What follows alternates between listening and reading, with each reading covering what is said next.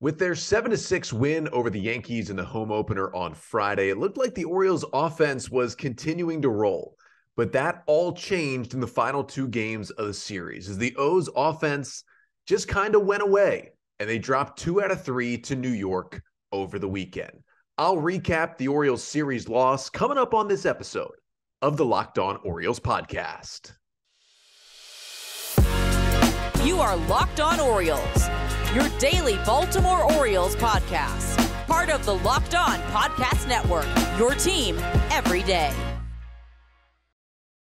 Hey there, Orioles fans. Today is Monday, April 10th, 2023, and welcome back in to the Locked On Orioles podcast, part of the Locked On Podcast Network, your team every day. As always, I'm your host, Connor Newcomb. And coming up on today's episode, I'm going to recap the Orioles series loss to the Yankees over the weekend. They open up the home season with a win on Friday, which I broke down on Friday evening's episode of the pod. Make sure to go back and check that one out.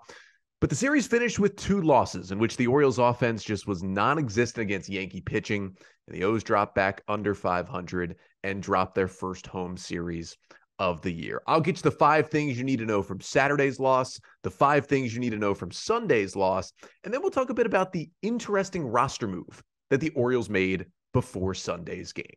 But that's all coming up on this episode of the Locked On Orioles podcast, which is brought to you by Ultimate Baseball GM. Ever dreamed of becoming an MLB GM and managing your baseball franchise? Then this game is definitely for you. To download the game, just visit ultimatebaseballgm.com or look it up on the app stores. Our listeners get a 100% free boost to their franchise when using the promo code LOCKED ON in the game.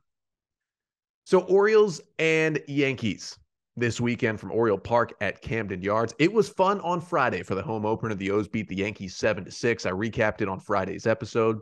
Wasn't as fun the next two days. I was in the ballpark Saturday. It was cold. The Orioles offense was cold. They fell four to one.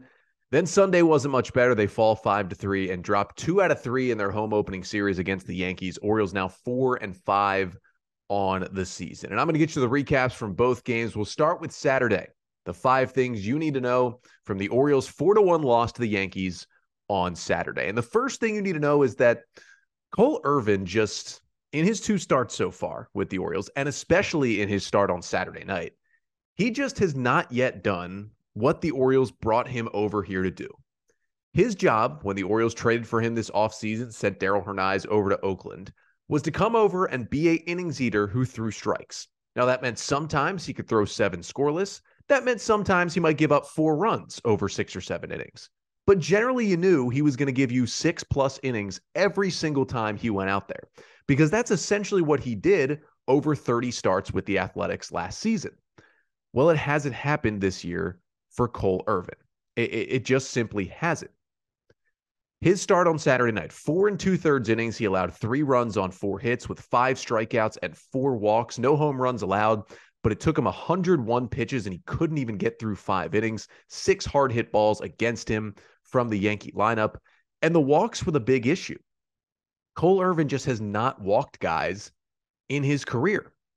He has only walked four batters in a start twice before in his entire career. And he got to the big leagues with the Phillies in 2019. And he only has two previous starts before Saturday where he walked four guys. It's tough to see. I mean, he only had one start last season out of 30 with the A's where he walked four. That was September 6th against Atlanta went four and two thirds, gave up nine runs on nine hits, walked four and struck out four.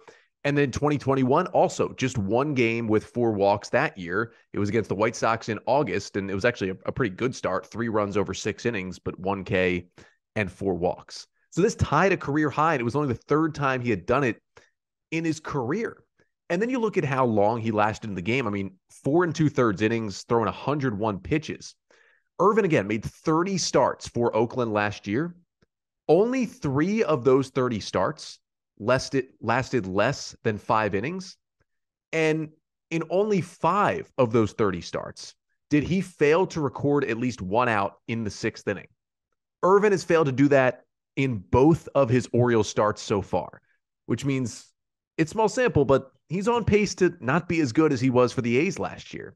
And it's not like the O's are counting on Cole Irvin to be their ace, but they need him to be better than this. And at the very least, I tweeted this out on Saturday night. If he's going to give up three or four runs, that's fine, as long as he goes six or seven innings. But when you're going four and two thirds, when your bullpen is looking a little dicey and dealing with injuries right now, they need Cole Irvin to be the innings eater. And he talked about it after the game. He owned up to it. He said, I know the Orioles brought me in to you know pitch into the seventh inning and beyond. I just haven't done it so far in the two starts. But he needs to pick it up because that is what they got him for. And he's out here and he's basically just firing fastballs at the Yankees. I mean, 101 pitches. He threw 51 four seamers and he's 92 93 with the pitch, which was a little up on the velocity. But I mean, 10 whiffs on 54 swings. Yankees putting the ball in play all over the place. He was basically just fastball, changeup, curveball all day. It just wasn't effective, and he didn't have command uh, of any of his pitches. You just can't have that from Cole Irvin moving forward. Second thing you need to know from this one is that Austin Voth, coming out of the bullpen, struggled again for the Orioles. Now, the end of his line only showed one run allowed as he relieved Cole Irvin in the fifth inning of Saturday's game. Ended up going two innings in relief, allowing one run on two hits with a strikeout, no walks, and a home run. The first uh, batter he faced was Giancarlo Stanton, who hit an absolute missile off of Voth in the fifth inning of that game that extended the Yankee lead to four to one at the time. And when I mean absolute missile, it was kind of ridiculous, especially being in the ballpark, how fast that ball got out of here. Stanton hit it 116.3 miles per hour, traveling 436 feet over the big wall in left field for a solo shot. Not a good day for Austin Voth. And he did rebound to get six more outs without giving up another run, but he was a little lucky. I have to say. I mean, he still gave up three hard hit balls. The stuff was not crisp. And through three outings, again, it's three outings, but it's a 10.38 ERA so far for Austin Voth. And we are not seeing the pitcher we saw in the second half last year with the Orioles. We're seeing more the pitcher we saw with the Nationals for the last couple of seasons in this Austin Voth reliever type and maybe he works better in a starter role, but you have to feel like his days are numbered if he keeps pitching like this. And maybe the Orioles just did a great job to squeeze out, you know, a, a good half season out of Voth last year, and that's all he had left because it looked like his career was cooked. You know, at the end of that run with the Nationals when they DFA'd him early last season, and a good job by the Orioles kind of tweaking his stuff and, and turning him into a good starter down the stretch. But that's not what he is right now. He's a bad reliever right now. He's not helping the Orioles bullpen. And that's something to monitor. He is out of options, so you would have to DFA him, but something to look at because it has not been good for Austin Voth. Third thing you need to know from this one is that Terrin Vavra got the start in right field for the Orioles in this game, hitting ninth. And he did play a good right field, tracked down everything, made a really nice diving catch out there early in the game. But also on the flip side, he was 0 for 3 with two strikeouts. And Vavra, yeah, he's not playing every day, but he's hitting 125 now so far this season.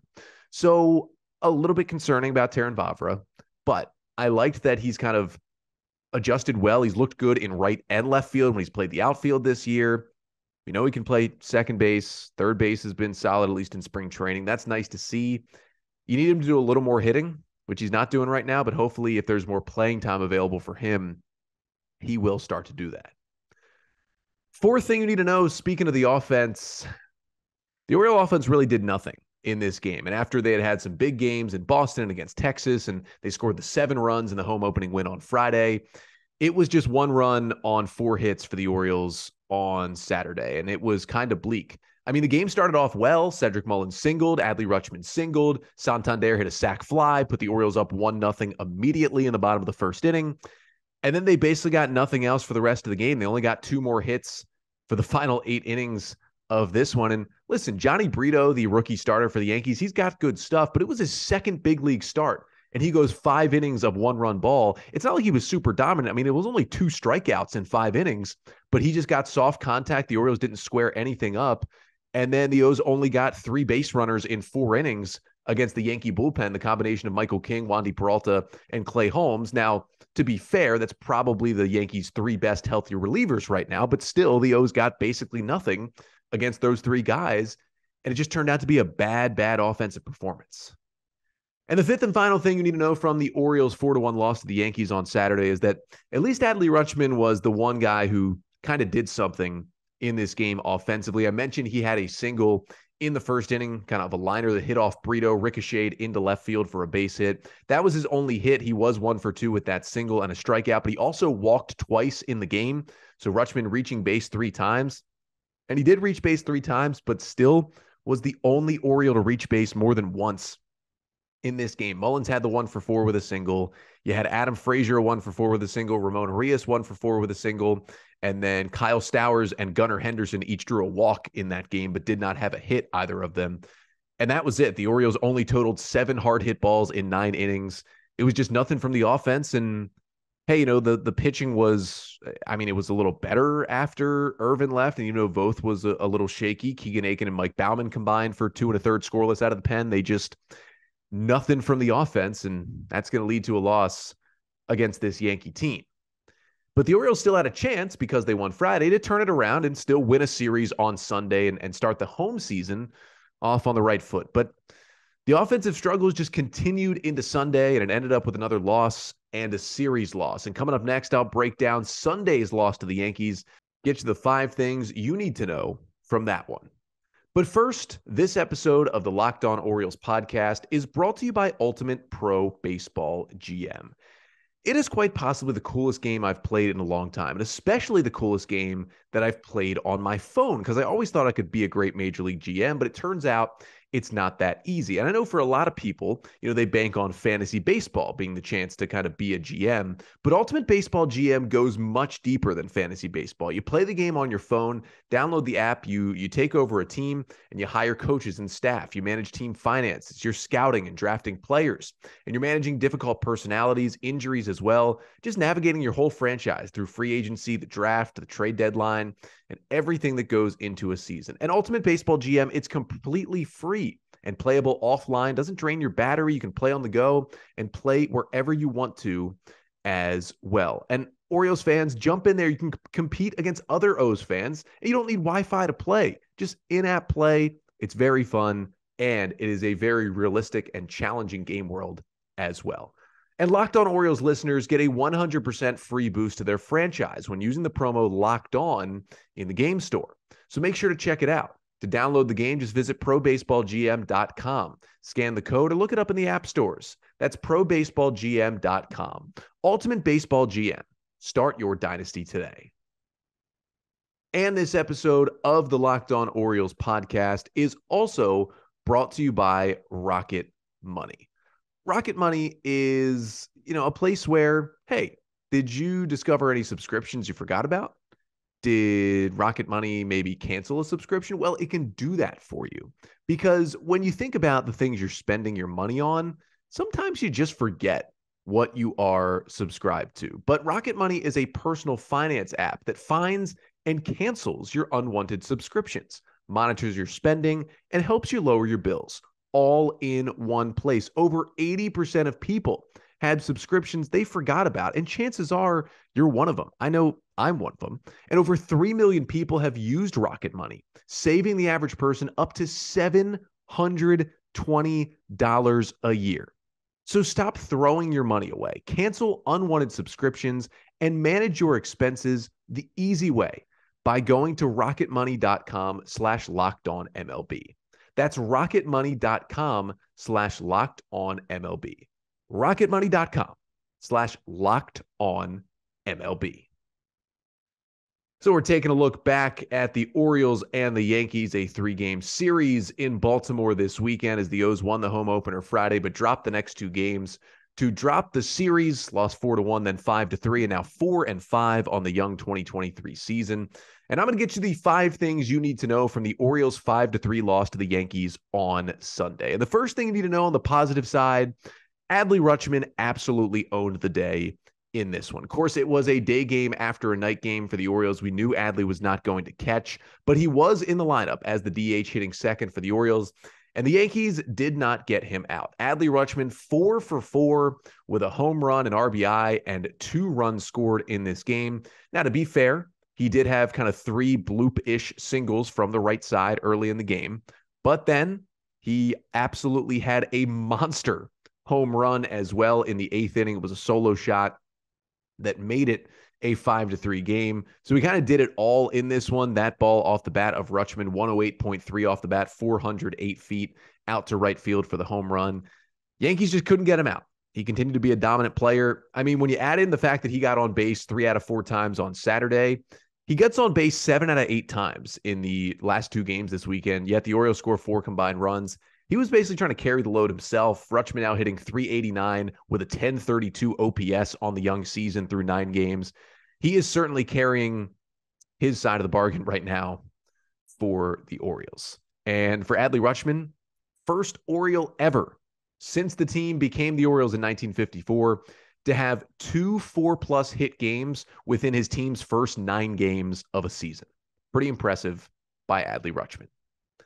Second thing you need to know from this one is that Ryan Mountcastle, well, he had a 2022 Ryan Mountcastle like day in this one. Had a one for four with a double in this game. It was a, a, a big double that set up the two run six for the Orioles. But I think Ryan Mountcastle felt like he should have had a three for four in this game. One for four with a double, a strikeout, and a run scored. But Mountcastle had three hard hit balls, and the two batted ball outs, along with his double as well, were all hard hit balls for Mountcastle. And he hit one ball to left field that would have been a home run in the old dimensions of the ballpark. He hit a ball to right field that got to the warning track but didn't quite get out. The two flyouts were hit at 107 and 106 miles per hour off the bat. Both of them traveled over 340 feet. Both of them had an expected batting average above 460. That's just annoying for Ryan Mountcastle. And quite frankly, that is what most of his 2022 season looked like. Just unlucky, unlucky, unlucky. He was unlucky again at Camden Yards. You could see him have some words to himself after that flyout in the fourth inning that went to left field that would have been a home run in the old ballpark. Yeah, he's still frustrated, and it's tough to see him continue to have days like that. Third thing you need to know from this one, sticking with the bats, is that well, the Orioles mean, they really didn't score much. Uh, it was one run on four hits on Saturday. It was three runs on six hits on Sunday. But at the very least, Rutschman was good. Mountcastle was hitting it hard. And Anthony Santander finally came up with a big hit. I mentioned the Rutschman solo homer in the eighth inning. The only other two runs for the Orioles came on an Anthony Santander two run double in the sixth inning as he roped one down the right field line. He also walked in this game in a one for three. That made it a four to two game. At the time, it was right after Nestor Cortes had left the game and Santander with the double off of Albert Abreu to put the Orioles back in the game. Santander has struggled so far this year, hitting just 194 on the season, still without a home run after being the Orioles' home run leader last year with 33 bombs. But it was nice to see him rope that double. Maybe that gets Santander back into the groove and starting to swing it well because the Orioles need him to do so in the middle of that order. Fourth thing you need to know as we move into the pitching side Tyler Wells had, I would say, an up and down start in his first start of the season for the Orioles. Of course, it was his second appearance after he came in in emergency relief on Monday night in Texas and threw five scoreless, hitless innings against the Rangers after Kyle Bradish left in the second inning with injury.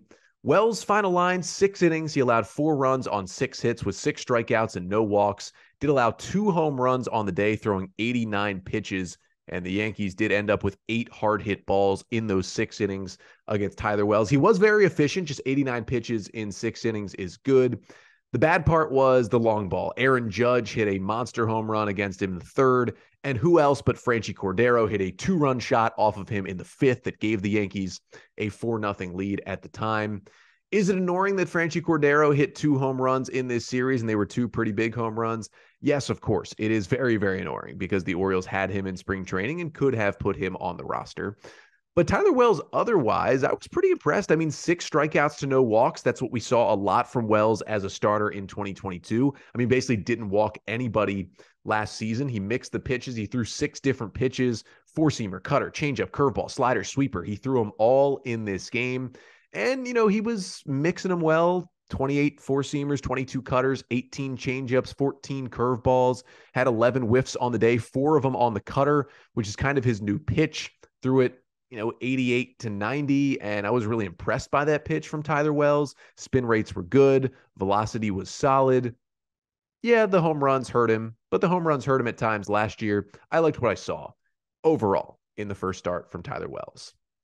And the fifth and final thing you need to know from the Orioles' 5 to 3 loss to the Yankees on Sunday is that It's back to back rough outings now for Logan Gillaspie, who presumably made the team as the final arm out of the bullpen for the Orioles. And his first few outings were big outs, and he looked good for Baltimore, especially in those outings in Boston in the first weekend. But his last two, both in this series, have not been good. Got roughed up in the sixth inning on Friday, gave up the lead to the Yankees. Then Gillaspie came into this game, and things just kind of continued to get worse for Gillaspie, who was charged with one run on two hits over an inning and a third with a walk, a strikeout, and a home run allowed. He also allowed a solo home run to Aaron Judge in this game. Five hard hit balls against Logan Gillaspie in this game. That right there is a little bit concerning when you think about the fact that uh, he only faced seven batters and five balls were hit hard. The stuff he kind of didn't have any command. He was really lucky to get out of the inning that he did. Yeah, I'm a little worried. And again, he's the last arm in the bullpen, but eh, the O's need Mychal Givens and, and Dylan Tate back because some of these guys they're having to count on are not the best arms out of the bullpen. So it did become a series loss for the O's, losing the last two games, now four and five on the year. The good point, and the thing you can look forward to, though, is that that was kind of the tough early stretch in the schedule. Now, the easy April comes to the Orioles. And I talked about this during the offseason that the Orioles' month of April was by far the easiest month on the schedule. And it started a little tough with Boston, Texas, and New York, but now the easy schedule comes because they open up tonight a four game series at home against the two and seven Oakland Athletics, who are basically a AAA team. And in the next 22 games, they play Oakland, the White Sox, who are struggling, the Nationals, maybe the worst team in baseball. The Tigers, maybe the second worst team in baseball. They play Boston, who could be worse than the O's. They play the Tigers again, and then the Kansas City Royals, who are one of the worst teams in baseball. That's the next 22 games for the Orioles leading into the first week of May. If you can get a 14 and 8 stretch there, you're at 18 and 13 on the year in early May, and you're feeling good, and you're in a much better spot than the Orioles were when they went 7 and 14 in April last season. It's an easy April. You got to take advantage. And hopefully they start that tonight. But one guy who won't be around to try and help kickstart the Orioles again as they start playing some, I'd say, weaker competition is Kyle Stowers, who was surprisingly sent to AAA as part of a roster move before Sunday's game. And coming up next, I'm going to break down that move a little bit further because instead of keep Stowers around, who is still a promising young hitter, the Orioles decided to carry three catchers kind of for no reason. Well, try to figure out a reason coming up next. But first, this episode of the Locked On Orioles podcast is also brought to you by Sorare. So Rare is a revolutionary fantasy baseball game and marketplace transforming fans into owners with officially licensed digital cards featuring players from across all 30 MLB teams. And unlike other fantasy baseball platforms, Sorare managers truly own their fantasy experience collecting, buying, selling, and competing with player cards against global opponents to win epic rewards. And win or lose, you still own your cards, and there's really no cost to play. And Sorare they have competitions as well. The MLB game weeks happen twice weekly. And at the end of game weeks, Sorare MLB managers who rank at or near the top of the leaderboards can win a variety of awesome rewards like scarcity cards, game tickets, merchandise, signed jerseys, and VIP experiences like meeting MLB stars. So head to sorare.com slash locked on. That's spelled S O R A R E dot com to draft your team of free player cards, set your lineup, and start competing today to win epic rewards. Again, that's so sorare.com slash locked on to start playing today. So the Orioles dropped the final two games of the series to the Yankees, now four and five on the year. But before they did officially drop the series on Sunday before the game, we got a somewhat interesting roster move from the Orioles. Now, we knew James McCann was getting ready to return to the O's. The Orioles traded for him from the Mets this offseason, and it was pretty much penciled in that McCann would be the backup catcher to Adley Rutschman. But McCann, who did have a somewhat serious oblique injury during the 2022 season in New York, felt some pain in his side late in spring training. They decided to be cautious because he'd had an oblique injury before, and so McCann started the year on the 10-day IL. Anthony Bemboom made the team as Rutschman's backup catcher. Bemboom started one game. For the Orioles. And then, you know, McCann had played the last two nights in Aberdeen on rehab games. And we figured if not Sunday, probably Monday or Tuesday, McCann would rejoin the Orioles. And well, the Orioles decided he was ready Sunday morning to come back. You knew Rutschman wasn't going to start Sunday's game with it being a day game after a night game. So it kind of made sense. Hey, you get McCann back, you get him in the starting lineup on a Sunday game against a left handed pitcher as well. It was kind of a perfect time to bring him back. And everyone assumed, rightfully, that, you know, Anthony Bemboom would be DFA'd to make room for James McCann because, well, the Orioles only need two catchers, especially when you have maybe the best catcher in baseball and Adley Rutschman as your starter. So we all expected the McCann for Bemboom swap to be the roster move, but that wasn't the case. And to be honest, I'm still a little confused about this move. The Orioles instead optioned Kyle Stowers down to AAA Norfolk to make room for James McCann. Now, McCann started on Sunday, went 0 for 2 behind the plate, got pinch hit four in the seventh inning, but did have two hard hit balls and caught a nice game behind the dish. Did what we thought he would do as the Orioles' backup catcher. But it's not really about James McCann. He was going to be on this roster either way once he was healthy. It's about sticking with Anthony Bemboom and sticking with three catchers on the roster instead of Kyle Stowers. Now, I had two initial thoughts to this move. My first thought was specifically in keeping three catchers. And my thought was maybe Adley Rutschman is a little banged up. Not bad enough where he has to go on the injured list or anything, not bad enough where he, you know, even has to sit. You know, clearly he DH'd and had four hits on Sunday. He's mostly good but maybe there's something there, just a little bit uh, of uh, some nicks, some bruises, something that maybe he can't catch for the next couple of days. That was my thought. Because if you have Adley there and he can't catch, you're probably going to DH him. And if you really don't want to catch him, you're probably going to want two other catchers on the roster. So that was my first thought that maybe he's a little banged up. They're not going to catch him for a few days. They want to make sure they're okay and have two other catchers. So they're going to carry McCann and Bemboom for a couple days. Then when Adley frees up, he'll go back to catching. That still could be the case because we haven't seen a, a lineup yet for Monday that would show that, oh, he's back there catching. So it could be the case. But if that were the case, it's interesting that Kyle Stowers goes down to AAA. That's the other part of this. Kyle Stowers, just kind of a tough start to the season for him. Last year, 98 MLB plate appearances, had a 724 OPS. He was solid, solid in the field, solid at the plate, had some strikeout issues, but obviously hit that huge home run against the White Sox, had some big hits for the Orioles. And he makes the team out of spring training. I think we all knew, or at least you should have known, he wasn't going to play every day. The Orioles had outfielders in Mullins, Santander, and Hays. They wanted to get out there. But we figured Stowers would be in and out of the lineup, especially against righties. He'd be in there sometimes. But through eight games before the Orioles optioned him on Sunday morning, he had started one game, started one game in Texas last week. He had a couple pinch hitting appearances, but had barely seen the field, was 0 for 4 with two walks. Did pinch hit in the ninth inning of Saturday's game, drew a four pitch walk against Yankees closer Clay Holmes, was the only guy to reach base in Holmes's two outings and his two saves this weekend against the Orioles. And that's what Brandon Hyde, I think, likes about him. He's talked about it before, how he can draw a walk as well, despite some strikeout issues at times. And he's got big power. And he's not amazing defensively in the outfield, but he's solid. It just makes you wonder why the Stowers move was made. And I do think looking back, with, as I mentioned earlier, Terrin Vavra getting the start in right field, hitting ninth for the Orioles in Saturday's lineup. That was kind of the writing on the wall. I mean, if you're not going to play Stowers, you're going to play Vavra out there in that situation. You're clearly setting your team up to to not have Kyle Stowers on it, and so they send him down to AAA. And there's the argument for all right, you know, he's not getting consistent at bats. Let's get him consistent at bats in AAA because we know we can get him that. I don't know if Kyle Stowers is going to benefit from consistent at bats in AAA at this point. He has 500 career AAA plate appearances. He's got over an 850 OPS in his career with the Norfolk Tides. I just feel like, yeah, maybe it's a little better to play every day if you're not going to in the big leagues.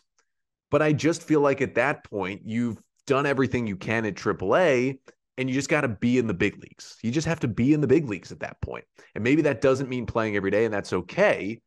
But the Orioles clearly see something here that they don't like with Kyle Stowers.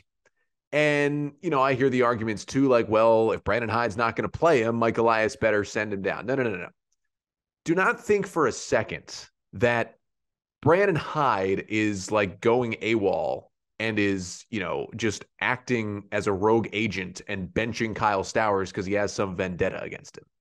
That's silly. It's 2023 in Major League Baseball. Managers do not set the lineup. Some of them have a hand in it. Some of them mostly set it. Some of them don't do anything at all in terms of the lineup. They just get handed the lineup by people in the front office. It sounds like the Orioles have some sort of mix where Hyde and the front office come together and come to a kind of consensus lineup every day. But it's not just Brandon Hyde writing in the lineup. And Hyde's going to get to veto some things, but the front office is going to have some final say and some things as well when it comes to the Orioles lineup every day. It's just how baseball works in 2023. So at this point, you know that Mike Elias and his staff are seeing something there, whether it's the swing and miss and Stowers swing, whether it's the fact that, you know, even though he hit lefties well in the minors, they don't like how he, you know, faces a breaking ball from a lefty. One big hole in his swing is kind of the back foot slider against a right hander for Kyle Stowers. Those pitches get thrown to him time and time again, and he cannot lay off. He's been behind fastballs at times. I would still like him in the big leagues, though, to play two or three days a week because he's got power and I like his game. I don't think his defense is terrible. But whether they don't like his swing or they're really worried about the defense or some sort of combination, there's something the front office sees that they don't like. And they want to try and sort it out with more plate appearances playing every single day in AAA Norfolk. And they feel like with McKenna as the defensive guy and with Vavra's ability to play the outfield and Adam Frazier can play the outfield a little bit, you still have Hays, Santander, and Mullins – they feel like they have those positions covered. And I'm assuming they feel like they're going to be benefited more by carrying a third catcher. Now, James McCann can maybe DH against some lefties, and he's played first base in his time. So he gives you a little versatility there. I mean, Anthony Bemboom is just a catcher, and he certainly can't hit, but you have Adley as a switch hitter, and then you have Bemboom as a left handed hitter, and McCann as a right handed hitter. So that gives you a little versatility at catcher. But if Adley is not banged up, it's just weird to have the three catchers because, yeah, I, I, get you get the versatility, but Adley Rutschman at worst is the second best catcher in baseball behind JT Realmuto. And by the end of this year, he may be number one. And he's going to play not at a Real Realmuto rate, but he's going to be probably top 10 among catchers in games played because that's how good he is. You don't need two backups. And it's not like Ryan Mountcastle's struggling mightily where you need to put James McCann out there at first base a lot. You don't need to do that either and DH is going to be filled by Santander and a rotating cast of others. I don't understand the three catchers. So I, I, I guess if Bemboom gets sent down today or tomorrow, and the Orioles call up a Ryan O'Hearn or a Josh Lester type, or even a Jordan Westburg, I'll get it more. I'll understand where this move was coming from. Maybe they just felt like they wanted the three catchers for a couple of days and then make the move. But if they sit with three catchers for a while, just feels like they're not utilizing that roster spot because the versatility of James McCann should make it easier to carry just two catchers. The fact that he can play a little first base, then you can open up that third spot for someone else.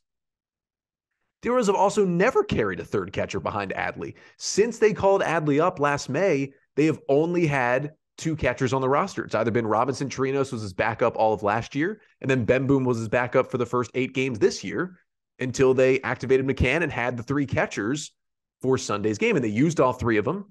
Adley was the DH. McCann started behind the plate. McCann got pinch hit for in the seventh, and then Bemboom caught, came in and caught the final two innings. So they did use all three of them in the game. It was maybe a little helpful to have that third catcher, but it did take away a roster spot. And when the Orioles came up down five to three in the bottom of the ninth against Clay Holmes, they had six, seven, eight due up in the order. And the ninth guy due up was Anthony Bemboom. And because they had used pinch hitters already, the only hitter they had left on the bench was Ryan McKenna. And if the Orioles got any base runner up, it would have been that spot due up with the tying run at the plate with two outs in the ninth. And you had to choose between Anthony Bemboom and Ryan McKenna. Now, the Orioles went down one, two, three. Hyde didn't have to make the decision, but that's two guys you really don't have faith in hitting a homer, let alone getting a hit. It would be nice to have maybe Kyle Stowers available in that scenario. So I just feel like this move doesn't make the major league team better. And it falls into this continued category for the Orioles this season of we're still focusing more on the future of the O's than the 2023 Orioles, or at least the Orioles at this very moment. That's what it feels like for me. And the other thing is, you can't just replace. I, I saw some people say, oh, they'll just call up another pitcher on Monday to replace Bemboom. You can't do that.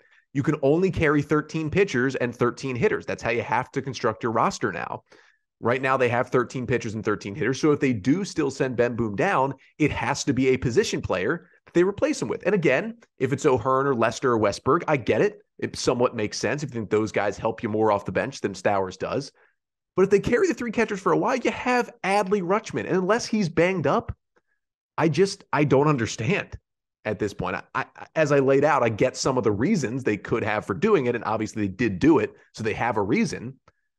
I just don't agree, and I, I kind of just don't get it at this point. So hopefully here on Monday we'll get some more answers. If Adley's a little banged up, if they make another move for a different hitter, if there's something going on with Stowers, we find out more of. Maybe we'll get more information, and of course I'll have it for you coming up on tomorrow's episode. And also, have for you a recap of game one between the Orioles and the Oakland Athletics. A big chance for the O's to get back on track here. Four games at home against Oakland, who they're two and seven, and they might just be the worst, at least the worst roster in all of baseball right now. In the Monday night game, a 635 start. Kyle Gibson goes for the Orioles, looking to build off his strong start in Texas.